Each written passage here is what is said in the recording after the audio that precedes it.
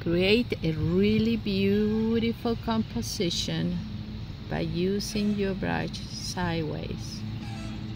Just go sideways.